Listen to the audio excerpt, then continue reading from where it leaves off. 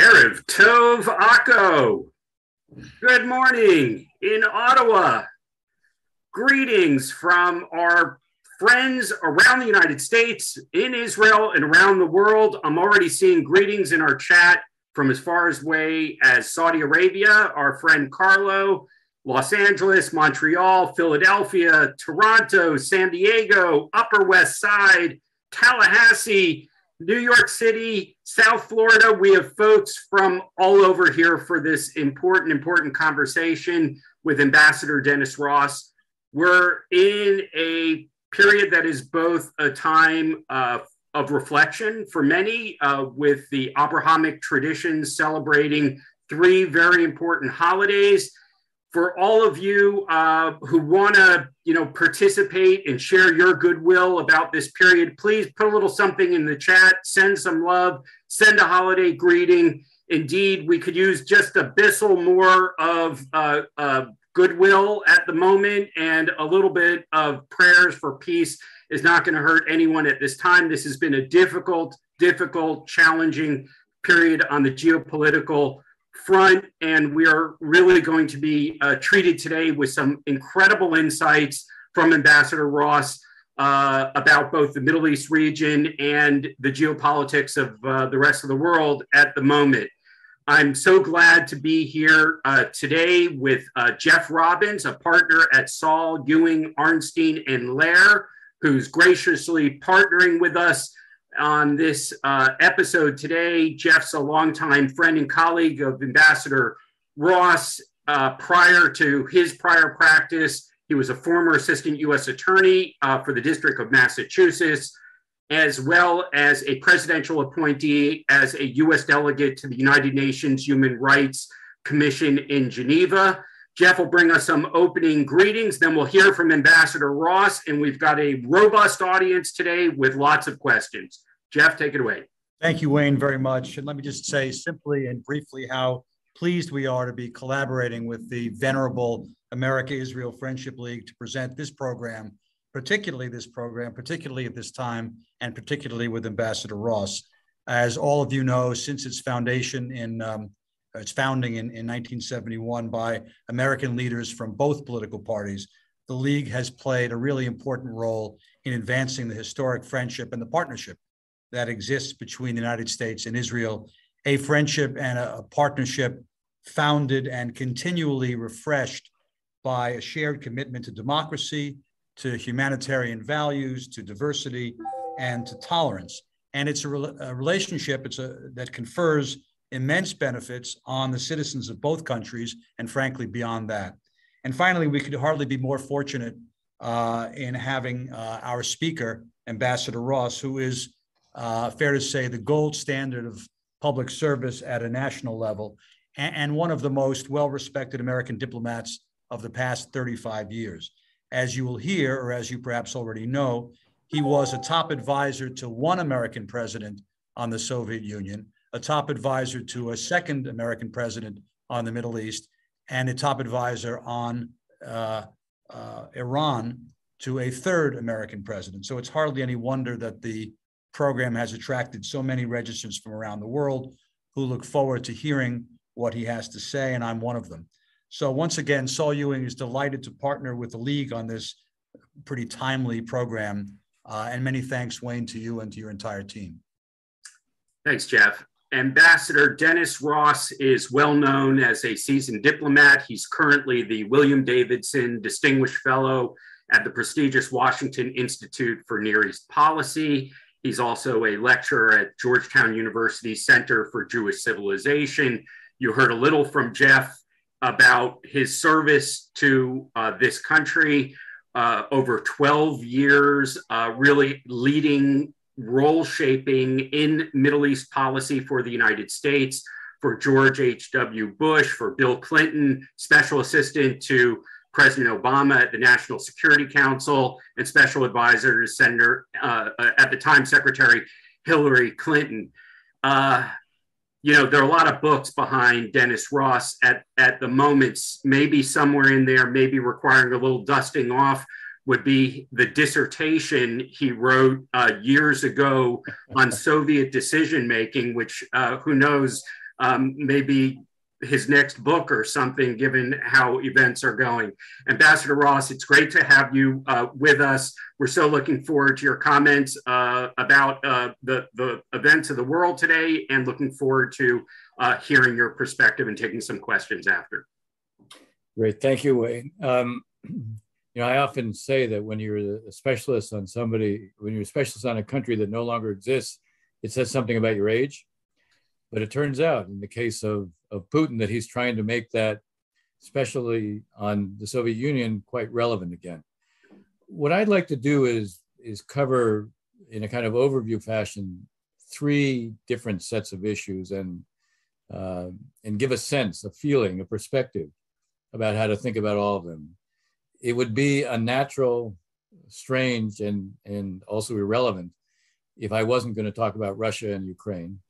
Uh, it preoccupies all of us for very good reason right now. And I want to try to put it in a, in a frame in terms of A, uh, in a sense, what we, what we can learn from it. Uh, B, uh, I want to connect this to Iran, and then I want to connect it to what's going on between Israel and many of the Sunni Arab states. Uh, and then I'm happy to take any questions. Let me start with uh, obviously, Putin, why Putin did what he did, at a certain level, there is no question that his miscalculations were legion and they were a function of his belief of his believing his own mythologies. If you go back to last summer, he wrote a 5,000 word treatise in which he explained that Ukraine had never been a separate country. It wasn't real as, as, as, a, as a country. He clearly believed that he was dealing with a comedian as a, the head of state. He thought there would be an immediate collapse. He would do his own version of shock and awe. Uh, within two or three days, they would take over Ukraine.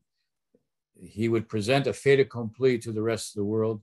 He had no expectation that the United States and Western Europe would sustain their opposition to what he did. Yes, he expected there would be criticism, but he also expected that we would adjust to it to be fair, there, there are some reasons why that part of his calculation wasn't so misguided.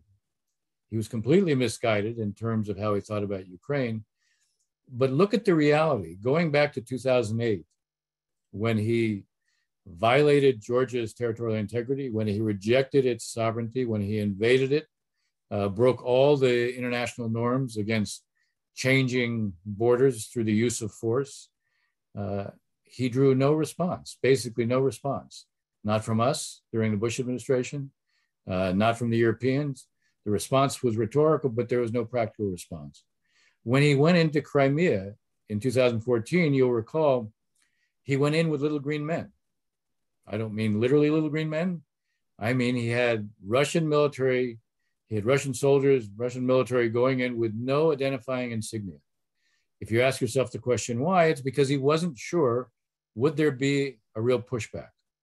And if there was going to be a real pushback, he wanted complete deniability if he wanted to back down. But there was no pushback. Uh, there were limited sanctions that were applied that had very minimal effect on the Russian economy. When he goes into eastern Ukraine, he goes in with Russian soldiers, but he denies it. Later on, he acknowledges and he says, well, it's true, Russian soldiers went there, but they went there on their holiday. Because as we all know, going to war zones during vacation time is a natural thing to do.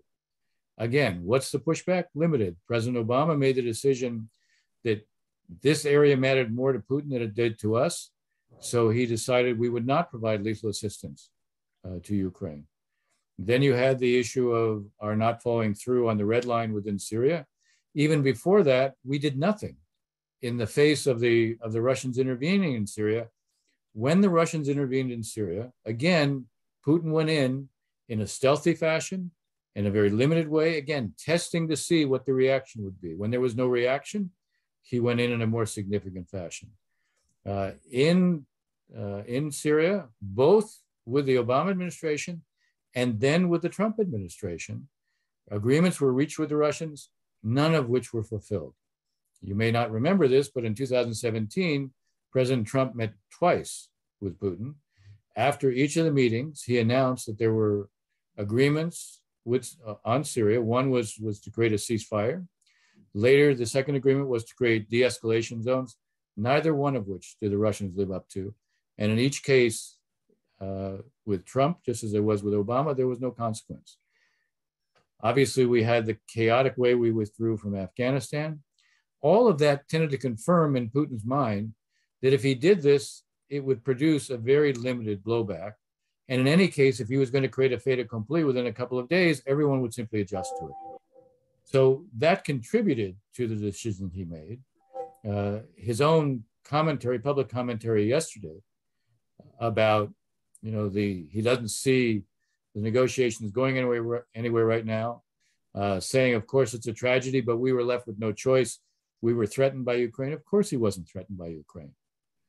Uh, what he clearly is looking for, even now, is some kind of unmistakable military success, which will not be easy to achieve.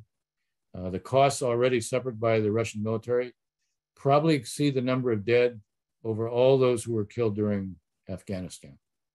Uh, sooner or later, this may come back to haunt him within Russia. It won't right now because everything is very strictly under his tight control. He rules out any kind of independent voice. Uh, any dissent is met immediately with arrest. So he can manage for the time being. What he clearly seems to want to achieve right now is not what he originally thought he would, which was basically getting all of Ukraine to submit. Now, what he's trying to do is create what amounts to a kind of uh, Western Ukraine, Eastern Ukraine. He's going to try to divide the country. They'll try to take Mariupol so they also deny access to the Black Sea or try to limit it. Uh, he will continue to engage in a kind of scorched earth approach, in part as a kind of punishment to the Ukrainians, in part to try to create a reality where the Ukrainians finally will say, okay, we need to end this war, and they'll concede more to him. Uh, what he still doesn't seem to appreciate is the weakness of his own forces uh, and the resolve of the Ukrainians. Uh, so I can't promise this is going to end anytime soon. Uh, I don't see Putin being particularly vulnerable internally at this stage, although, as I said, if we were to meet again, say a year from now, we might be looking at a different reality within Russia. Uh, the Russians have shown they do react to some. Uh, you may recall, and if you don't, I will call your attention to it. The the Russians said before the, the nuclear deal, the JCPOA could be reconstituted, the deal could be finalized, uh, the Russians needed a carve out to exclude Russian Iranian trade from the sanctions.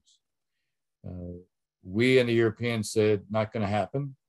And the Iranian, the, the Iranians, suddenly the Iranian foreign minister shows up in Moscow uh, and with a message that, hey, we want sanctions relief you're not in a position to tell us we can't have sanctions relief. Uh, and so suddenly the Russians backed off from, from the Iranian pressure. Uh, now, I raise this partly because it's kind of interesting that there are those to whom the Russians do pay attention. Uh, I would say the Chinese have a lot of leverage on them if they were to exercise it. So far, we haven't seen any sign of it. The Iranians, interestingly enough, have some leverage on them. Uh, and you know, the whole question of, of Iran and, and the Iranian nuclear deal is one that's worth discussing. So I want to transition to that. This was actually, I would say, a seamless transition, which was so seamless that I'm calling attention to it. Uh, but I want to say something about where we are in terms of the Iranian nuclear deal. It does appear that we're very close to having a deal, but it may be that the Iranians have overplayed their hand. What I mean by that is the Iranians are now insisting that to close the deal, we have to delist the Revolutionary Guard in Iran. Meaning, when I say delist, it means the Trump administration put the Revolutionary Guard on the State Department's foreign, foreign terrorist organization list.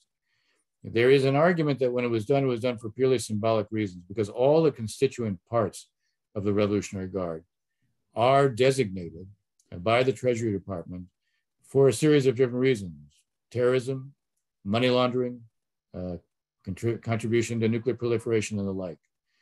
So it is true this is done for most, it was done for mostly symbolic reasons.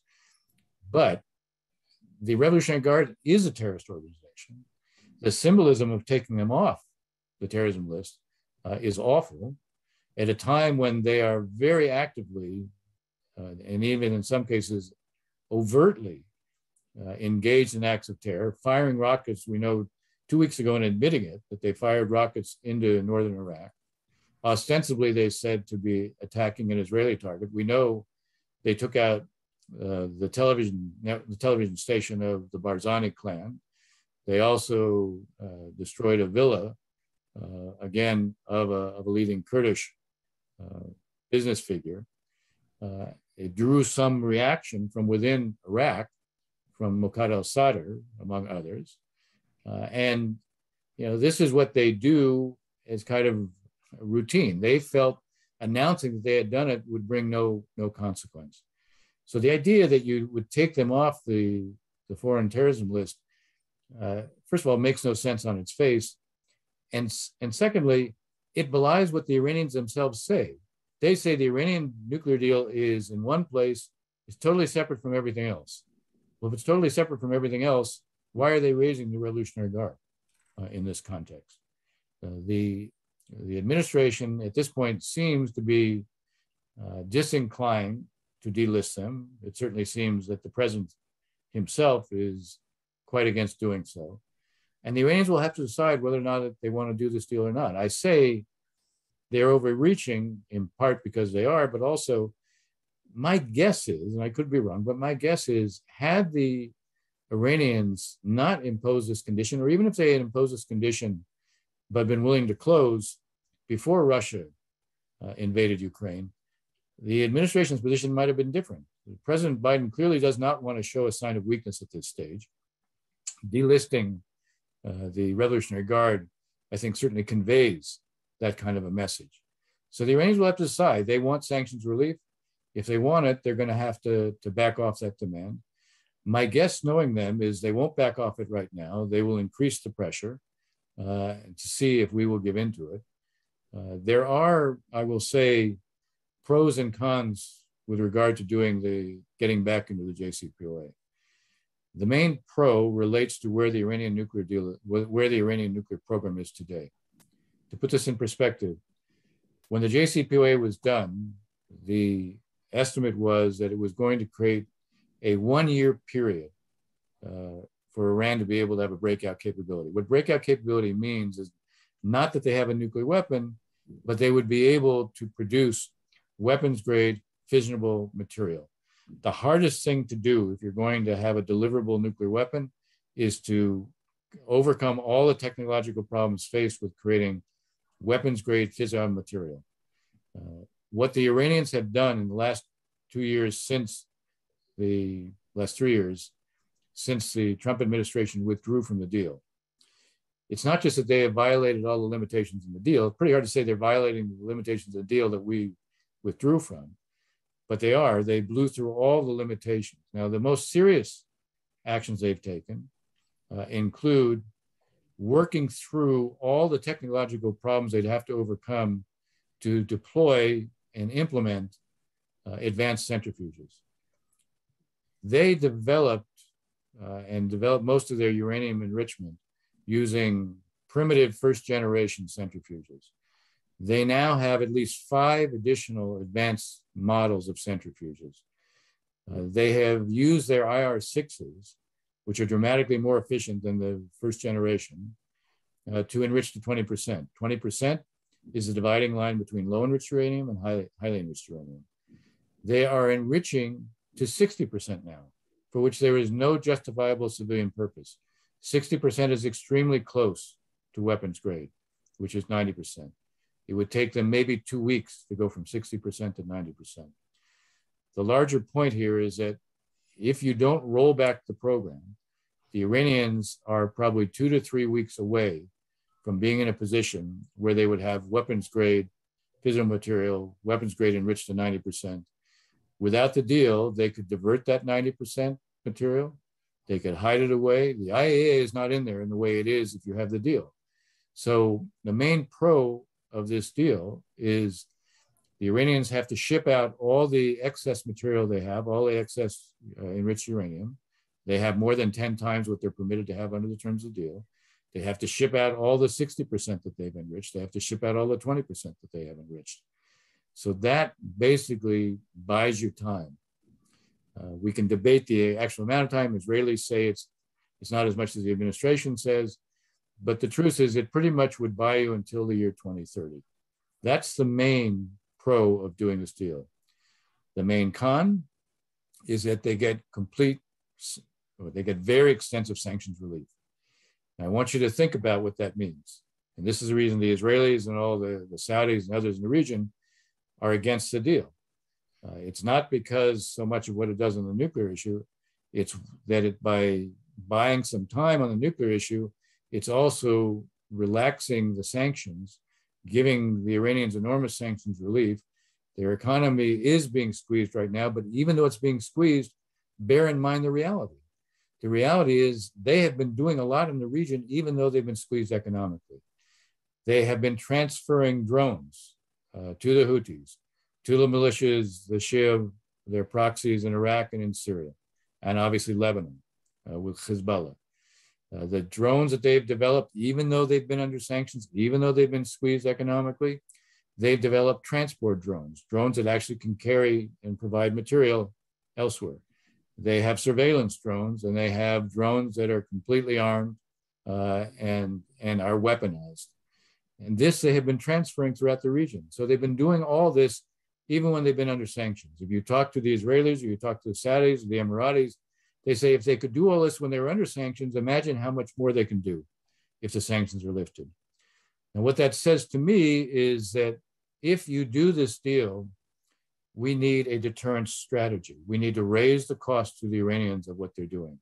We need to work with those in the region in a way that we have not been doing as much as we could to raise the cost to the Iranians. Uh, I'm happy in the Q&A to go through this in great detail. I don't want to take a lot of time right now, but I guess my, my fundamental message here would be, uh, if there is a deal, we need to boost our deterrence strategy. If there isn't a deal, we need to boost our deterrence strategy.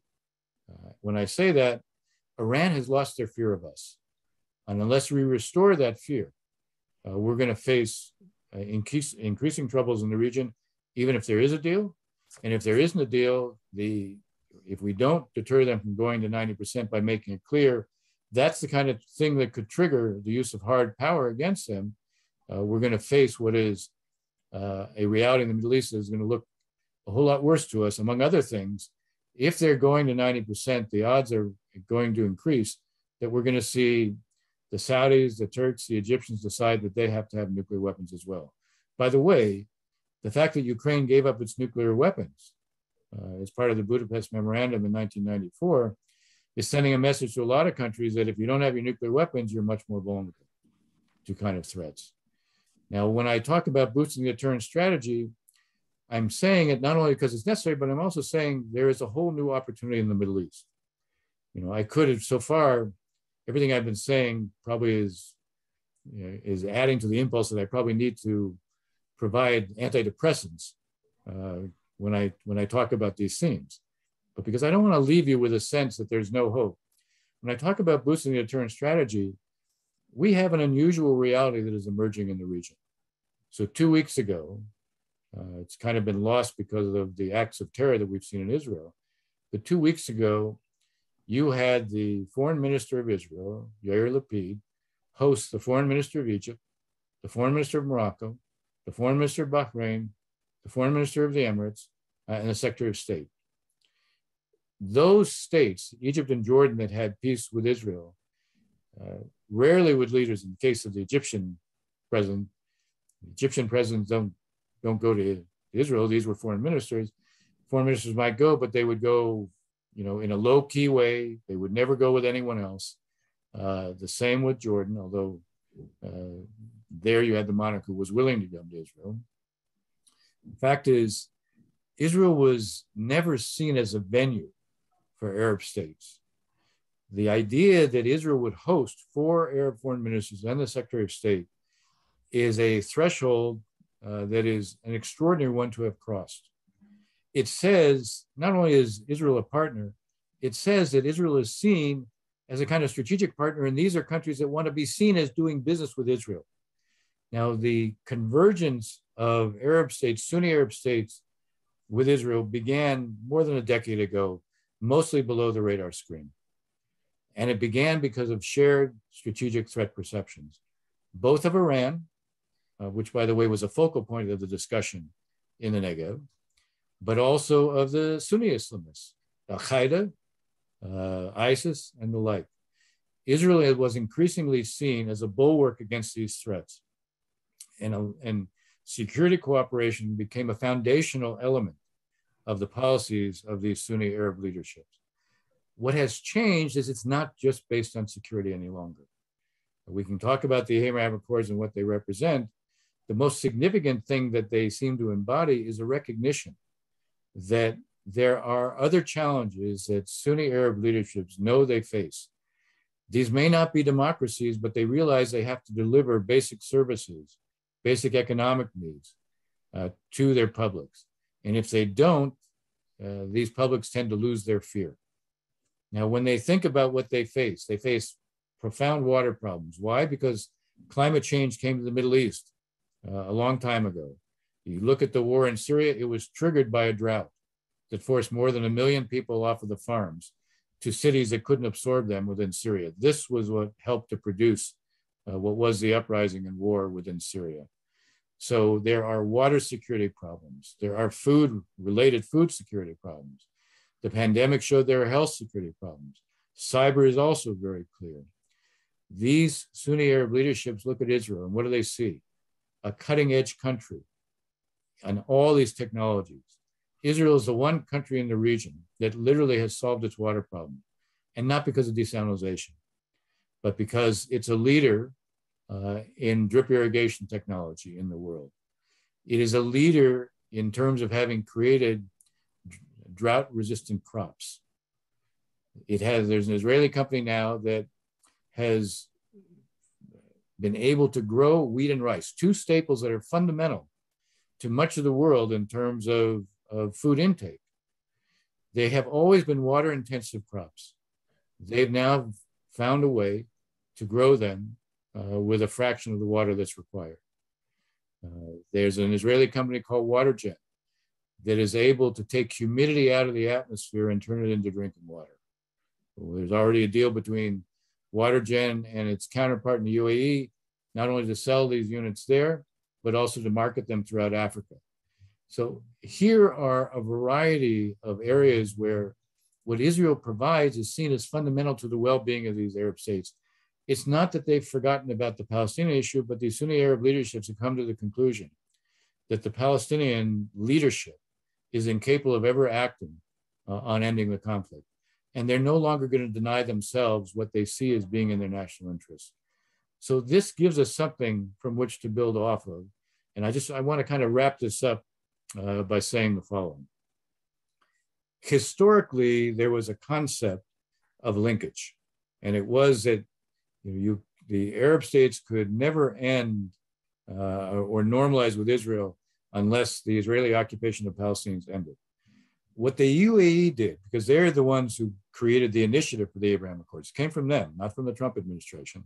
Trump administration took advantage of it, but the initiative came from the UAE in the summer of, of 2020, uh, when they went to the to the Trump administration and said, "Look, we'll give you a win in foreign policy. We'll give you the first peace treaty between an Arab state and Israel since 1994, the Jordanian-Israeli peace treaty. But the price is no annexation. You may recall Prime Minister Netanyahu had announced uh, when the Trump, Trump plan was uh, unveiled that he was going to annex the territories allotted to it under the Trump peace plan. In the summer of 2020, the Emirates said, we'll give, we'll do full normalization, but no annexation. Now think about that. What they were saying is, we're going to go ahead with normalization, but we need Israel not to take a negative step towards the Palestinians. You can take that as a model. You know, you could think about the Saudis saying, we'll do, we'll take a step towards normalization and define a step that Israel could take towards the Palestinians. I'm raising this because the Israeli Palestinian conflict isn't going away. The acts of terrorism are a reminder that you can't wish the Palestinians away, and there's, there still needs to be some resolution for it. Now, the reality is there is no two state solution anytime soon. Uh, I could go through all the reasons for it, but I'll tell you fundamentally on the Palestinian side, there's no capacity to agree to anything.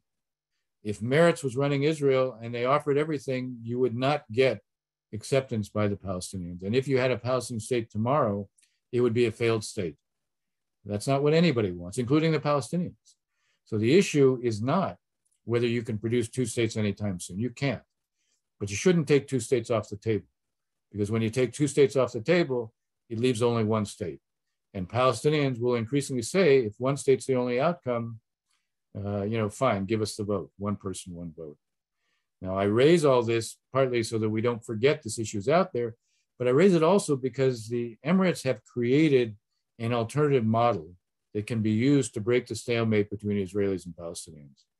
Arab outreach to Israel can be accompanied by certain steps that can be negotiated that the Israelis would take towards Palestinians.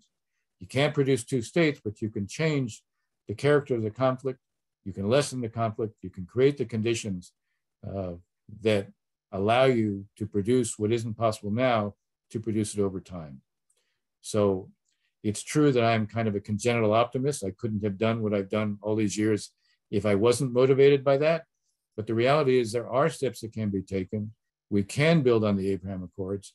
I think the Biden administration will have to become much more active uh, in terms of actually being willing to broker because these won't happen by themselves. We don't have other Arabs who are prepared to act like the Emirates and to take the initiative, but we have other Arab states that are prepared to act in response to an American effort to broker understandings. So there is a sense of possibility that can be recreated. We should do all we can to promote it. I will stop there. Well, you're not stopping, you're just getting going. Uh, and that really, uh, what you covered uh, in, in, in that last 25 minutes is really quite remarkable. Um, let me start with your antidepressant. Um, that picture from Sde Boker of a foreign minister gathered together, working together. I want to take one step back. Um, what, eh, you know, you've worked at this for so long and with so many of these people in the room, what conditions changed uh, in yeah. the last year? I mean, it's this sort of took a lot of us non experts by surprise when it happened. And I'm asking both wearing your historian hat, like, you know, what changed from the time that you were working on these things during Oslo, et cetera? And is there anything else we can leverage from those changes uh, to the challenges you, you were speaking to? Sure.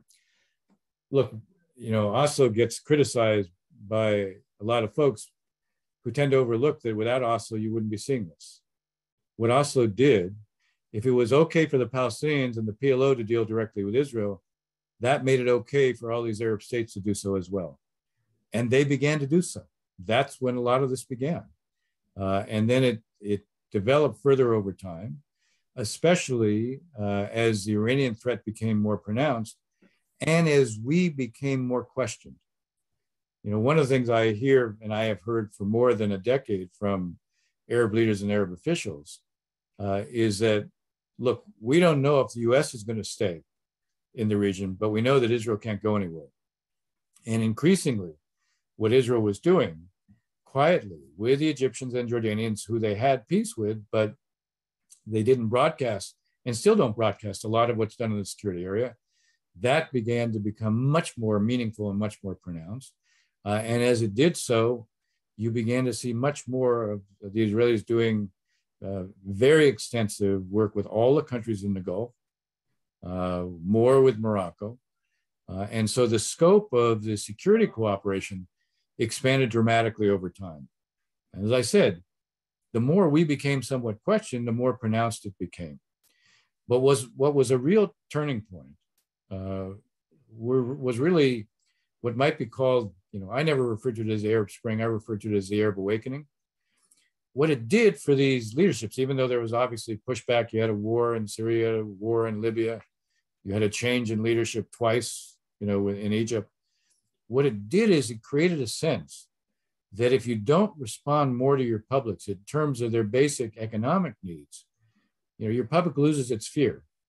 Uh, and the more that became the case, the more there was an openness to doing uh, looking for increasing ways to, to work with the Israelis. Now, the, obviously, the Israelis were acting on their own in terms of outreach. But the, the significant thing is, and I, I want to highlight this about the, the Emirates. So I'll tell you, I'll tell a story. February of 2009, one month into the Obama administration, I get a call from Yusuf Otaiba, who is the Emirati ambassador to the United States, still is. Uh, and he says, at the time I was still in the State Department before I moved to the White House, and my responsibility was Iran. Uh, and so he calls, he says, look, I'd like to have a conversation uh, about Iran, but I don't want to do it in the State Department. I want an informal, don't want to do it at my, my embassy. Uh, I have a suite in the Ritz Carlton downtown. Why don't you come over and we'll have a chat? And so, you know, I was always happy to get out of the State Department. So I go over there, I knock on the door, he opens the door, and who's standing there with him? Sallai Meridor, Israel's ambassador to the United States, February 2009. The meeting was the message. We see the region the same way. We're already cooperating. We want you to see the region the way we see the region. This is 2009. 2015, uh, Abu Dhabi invites Israel to establish a diplomatic presence in the International Renewable Energy Agency. Now, technically, it's an international organization, so it's not technically a diplomatic mission to the UAE, but nonetheless, there's a diplomatic presence that's established there. 2017, they begin to invite Israeli athletes to take part in different kinds of competitions. Then Israeli ministers. Uh, Pre-COVID, Israel was going to be allowed to have a pavilion at Expo 2020 in Dubai. They, of course, did have it when it was allowed, but this was before the Abraham Accords. There were 500 Israeli companies operating in the Gulf prior to the Abraham Accords. So a lot of this was unfolding. People ask me how the Abraham Accords are changing the region. And I say, no, you're missing the point. The region changed. Now, why did it change? It changed in no small part because increasingly Arab leaderships became fed up with the Palestinians. Not the cause of Palestine, but the way Palestinian leadership, first, it was divided.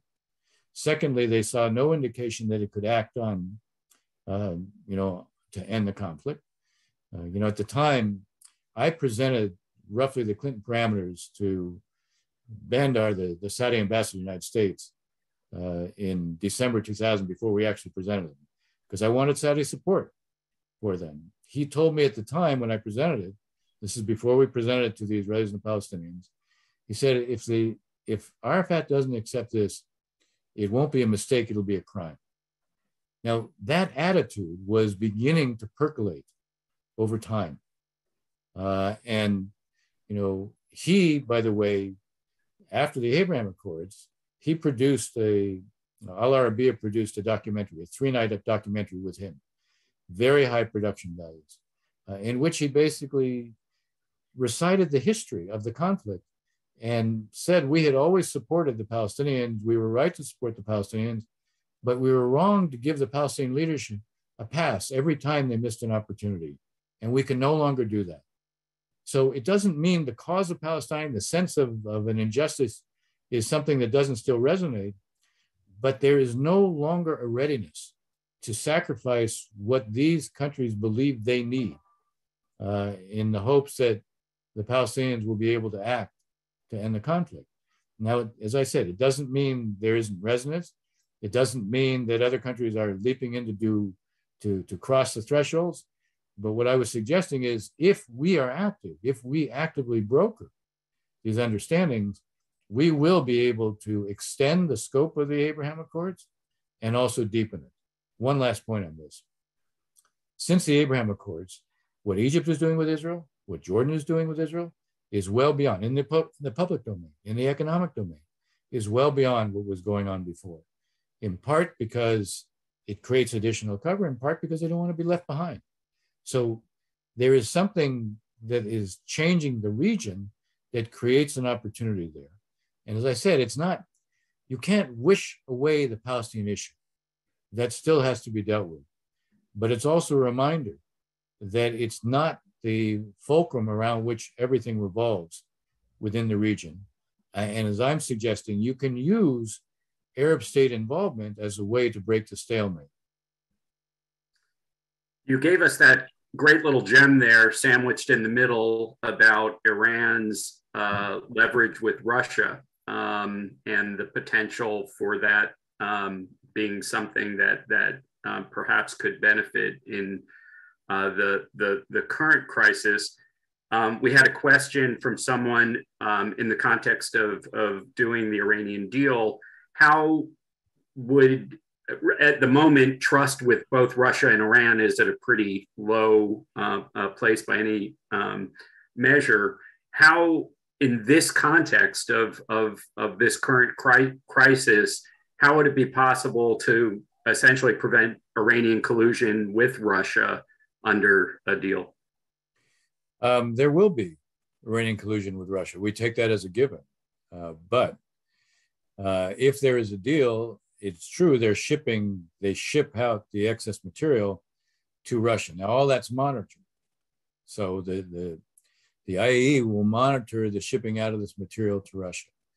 Uh, you know, one of the reasons it's Russia is because nobody else wants the nuclear material. Uh, now, if you ask me, is there probably a side deal between the Russians and the Iranians? That if the if if there is a if the next administration comes in and walks away from the deal, will the Russians send back the the material? My guess is absolutely. Yeah, I'm I'm sure that's true. But you know, that's also a reason that maybe we shouldn't walk away from the deal look, it was a huge mistake for the Trump administration to walk away from the deal. It was not a huge mistake for them to use their leverage and the threat of walking away, because they you could use that with the Europeans at a minimum.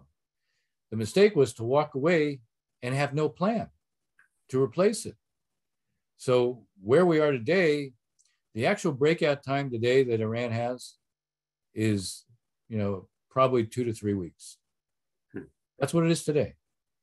Uh, now, that's not what it would have been if we had not walked away from the deal.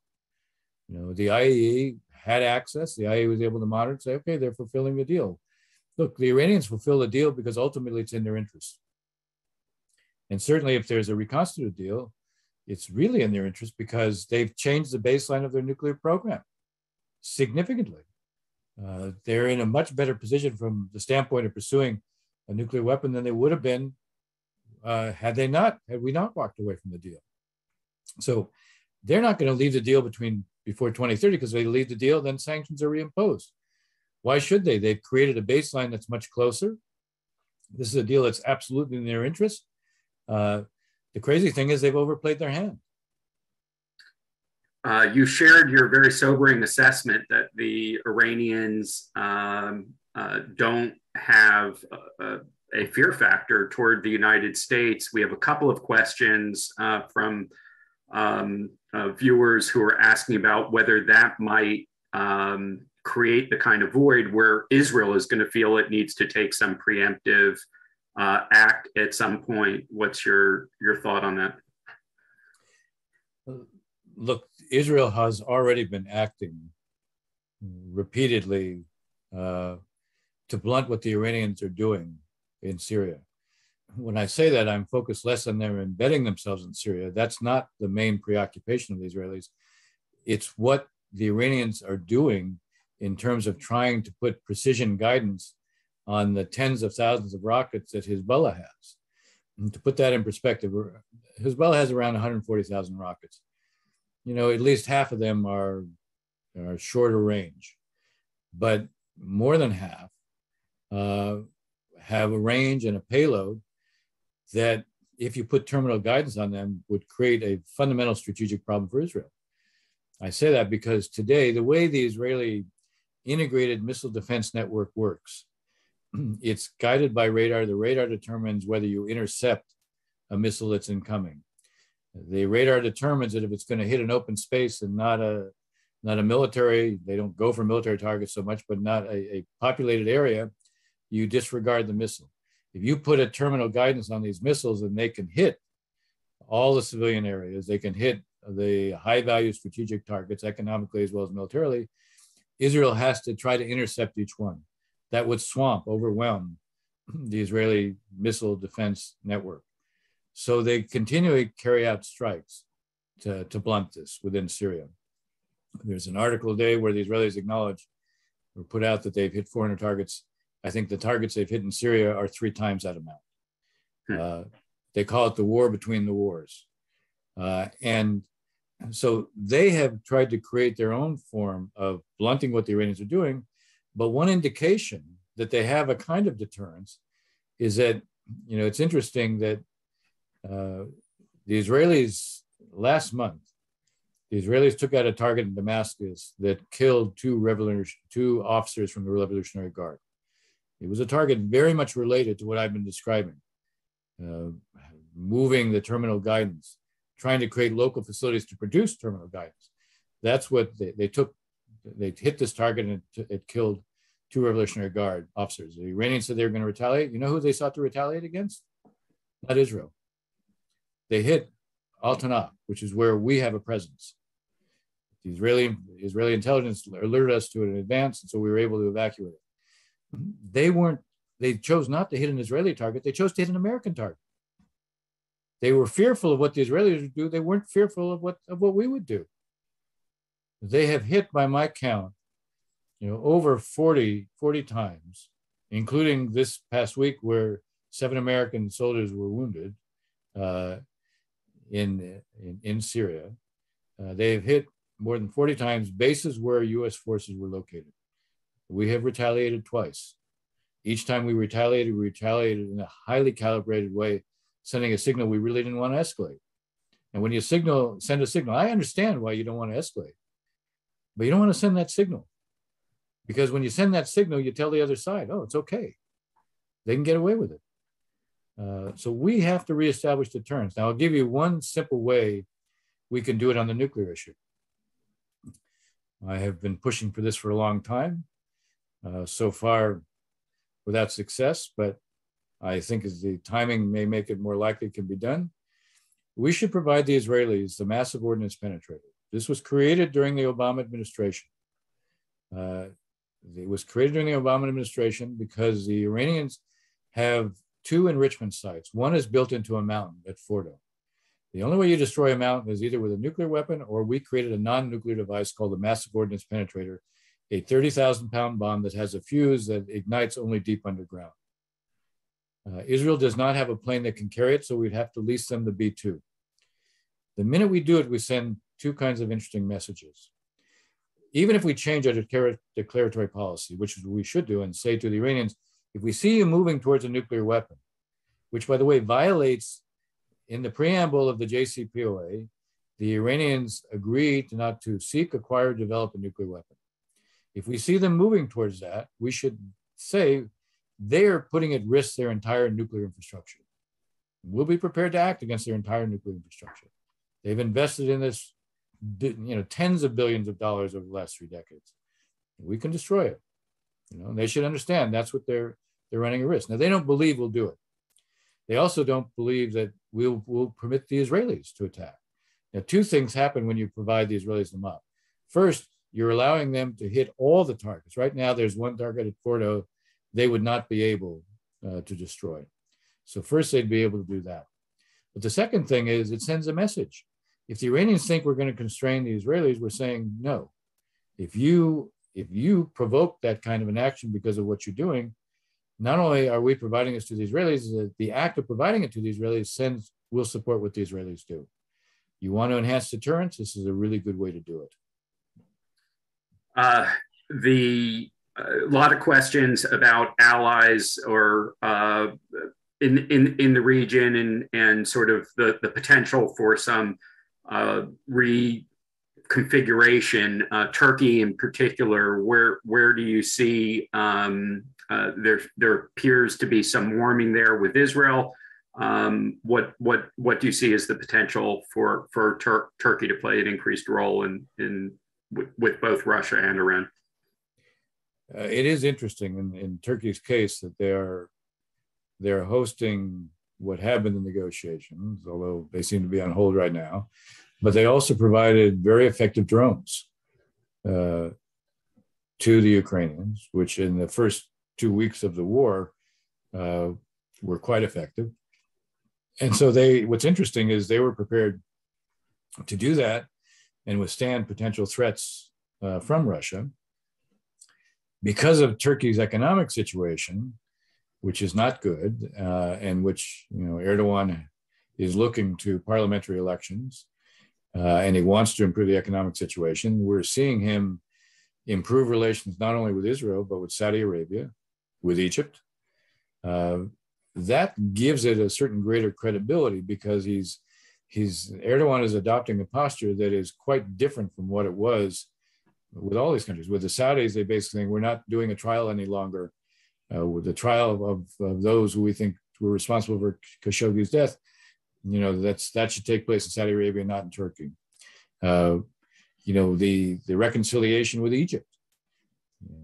They, they broke with Egypt over the issue uh, of the Muslim Brotherhood, uh, and now with Israel, uh, the outreach. You know, you had the president of Israel go. There's going to be a, a Erdogan is talking about himself visiting Israel. There are concerns the Israelis have because uh, some of the key, some of some leading Hamas officials base themselves in Turkey. Uh, one of them has been responsible for a lot of the activity in the West Bank. So I think the Israeli position is these people can't stay any longer in Turkey. We'll see what happens. But I, it's significant because look, the strategically Turkey has always been a profound strategic actor uh, in the Middle East and outside, a member of NATO. Uh, I think if, if there is a way to build on this reconciliation, it serves interests. It also borders Iran. So any strategy against the Iranians also is one that, if you have Turkey as a partner in it, becomes more effective. Yeah, I don't know. We've got questions both on Israel's role uh, in the uh, Russian negotiation. Uh, yeah. Uh, how much of that do you think is substantive, and and um, um, will it continue? Assuming the government continues, we'll get to that one next. Yeah. Um, look, I if you're a mediator, you have leverage. Israel does not have leverage on Russia. Hmm. An intermediary is someone who can who can talk to both sides, who can pass messages, who can identify, look, we're hearing this, but you're not really a mediator. You're an intermediary. Can Israel play that role? Yes, it has already. Uh, it helps to explain some of the care with which the prime minister has uh, used in, in talking about uh, Putin. That you'll see that the foreign minister of Israel doesn't pull any punches. Uh, the prime minister does. Uh, now, there's additional reasons for that. One, you know, the 400,000 Jews who still are in Russia, and there's a sensitivity to them becoming victims of anti-Semitism if if they stake out, if Israel stakes out too hard line a position against Putin. But the more important strategic reason uh, is, you know, Russia established, I, I referred to this at the outset, Russia established a military position in Syria in 2015. One week before the invasion of uh, of Ukraine, Russia ran a joint air exercise with the Syrians, including an airspace not far from Israel's border. This was a non subtle message to Israel. Uh, Ukraine is very important to us, just like what's happening in Syria is very important to you. Russia has a very significant uh, air defense presence there, S 400s as well as S 300s. Uh, and you know, the message was we can make life very difficult for you. We can make it very hard for you to carry out these kinds of operations. Uh, so, from an Israeli standpoint, they face a strategic threat with what Iran is doing uh, in Syria and what it's trying to to transfer to, to Hezbollah. Uh, and the Russians can make it much harder to deal with that threat. So far, the Russians basically have allowed the Israelis a kind of green light. They don't turn on their air defense radars. Occasionally they've done it again to send a message, but typically they do not do that. So can Israel play a certain kind of role? Yes, but it's limited. Um, it's why it faces a real, a genuine threat um, in its northern border. And we've seen them act accordingly. Yeah, a lot of people were um, uh, I, I, don't know if surprise is the right word, but the, the the fact that that Israel was brought in was not personality based, and um, um, which leads uh, again to the question of uh, which several people have asked about. Um, what do you think the implications are for the region? Let's say not Israeli domestic politics, but of the the current Israeli uh, coalition crisis? Um, look, when one thing we know about uh, Israeli politics is that in any coalition, the the strongest actor in the coalition is not the largest member; it's usually the one who can bring the coalition down. Now we have a we have a government that no longer has a majority. Now, because the law requires, if you want to replace the government without an election, it's not just a vote of no confidence that is required. You actually have to have the 61 votes to replace, to have a replacement. Uh, if Bibi Netanyahu had 61 votes, that he could have produced 61 votes, we wouldn't have had four elections. He still can't get to 61. The question is whether or not there is a stake in having a new election. Um, any effort to bring the government down through the Knesset, Knesset doesn't come back in session until May 9th. I don't know that there are a lot of enthusiasts for having new elections. It's pretty clear, it's pretty hard to replace the government without elections. Uh, so we're in a situation where, um, on the one hand, the government will find it very difficult to pass legislation, if not impossible. Uh, on the other hand, and it's a government that has prided itself on getting things done, doing practical things, passing the first budget in three and a half years. Uh, the government will continue to be able to function as a government. It will certainly be able to do foreign policy and national security. It's acting in a decisive way right now to try to blunt uh, acts of terrorism. We've seen uh, very significant preemptive arrests being made, operations taking place, um, especially in the Jenin area, but not exclusively in the Jenin area. Um, so, look, if you ask me, will others in the region continue to be partners with Israel? They're partners with Israel regardless of the government. This partnership began under Netanyahu. This meeting in the Negev took place under this government. This prime minister went to Bahrain. Uh, this prime minister, I'm sorry, this prime minister went to the UAE. Uh, you had the defense minister go to, to Bahrain. Uh, this prime minister went and had a meeting in Egypt with President Sisi and with the, the crown prince of, of the UAE. So the, the scope for involvement in the region is driven by Israel's capabilities and by the credibility that Israel has in terms of acting much more than it speaks about the threats in the region. Uh, and that didn't change, regardless of the government. So, domestically, there's an implication. Internationally, there's less of an implication.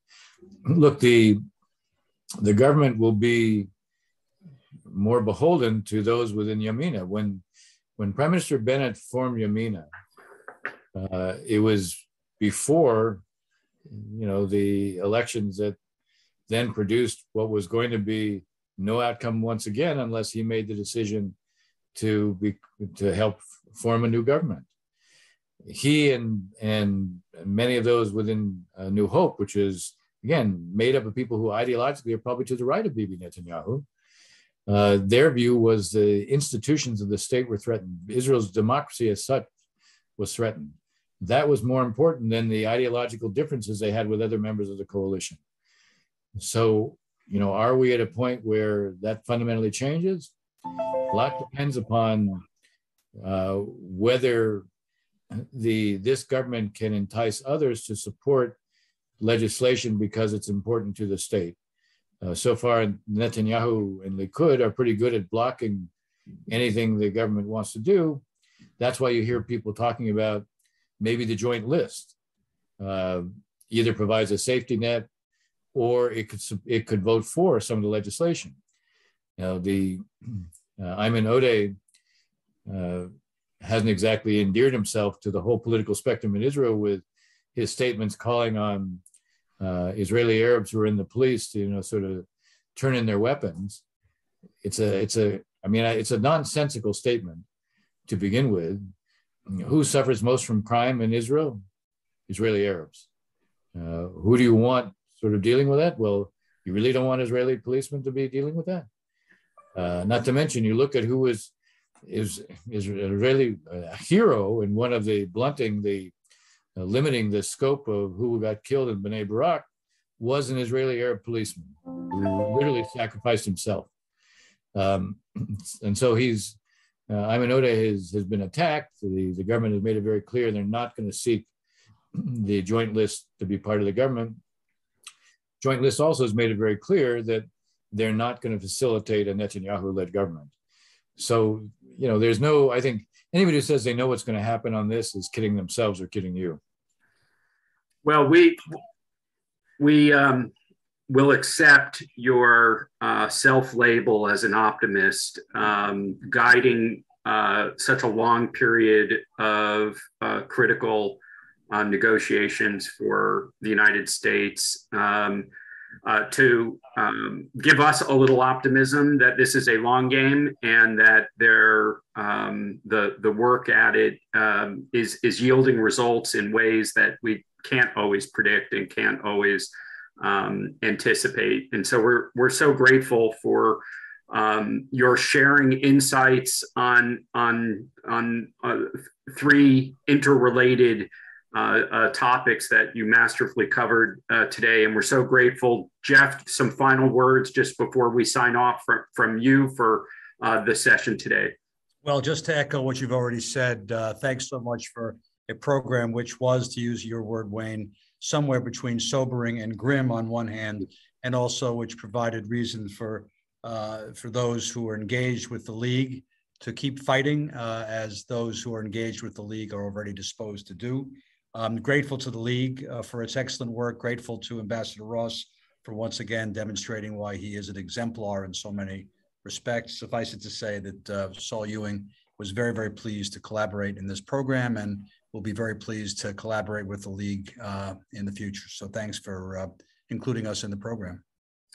Well, if today's program brought anybody uh, a little bit closer to Israel, we know that uh, many people are now actually beginning to travel uh, to, to Israel again, for which we're very grateful. Um, not everyone has the ability to jump on a plane. So if you can't go and you're looking for something interesting uh, to do uh, uh, during Passover week, during Easter week, during Ramadan, hey, we've got a virtual visit to Zichron Yaakov coming next week with our master tour guide, Reuven. So come back and join us next Wednesday on the 20th. Indeed, we run these programs weekly and we're grateful to have everyone here. So thanks for everyone for participating today. We appreciate your support. You know, we don't charge for this. We want as many people to come. Please share. We will provide a, a free uh, video copy. Many of you have asked about it in the link. We'll share it with you, share it with your friends, let people know. We want to wish everyone Pesach Sameach, Ramadan Mubarak, Happy Easter. Be safe. Greetings. Thank you.